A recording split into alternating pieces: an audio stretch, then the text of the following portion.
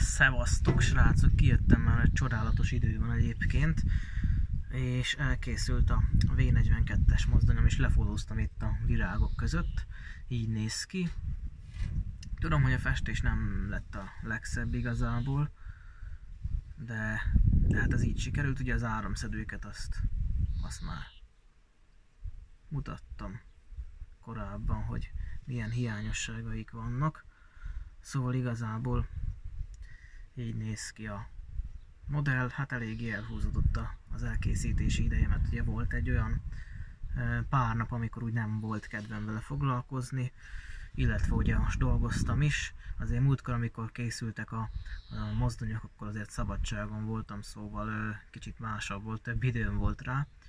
Szóval igazából ilyen lett, olyan, amilyen nekem igazából tetszik.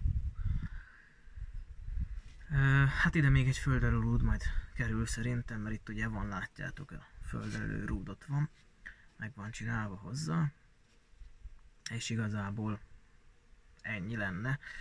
Én akkor is azt mondom, hogy összességében a, amiket építettem, villamos mozdonyokat eddig, ugye gigantból épült három darab Leót is építettem már, szerintem, vagy hármat ezen kívül.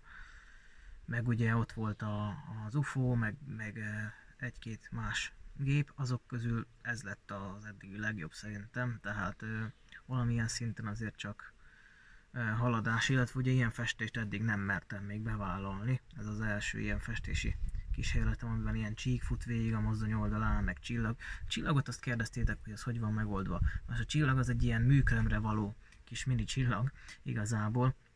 Az Ázsia Centerben láttam meg egyszer évekkel ezelőtt, hogy egy árusnál ott volt dobozban, és akkor fillérekért árulta igazából, úgyhogy van itthon több száz darab ilyen csillag, tehát így megoldható ez a dolog, hogyha ilyen csillagos mozdonyt kell csinálni.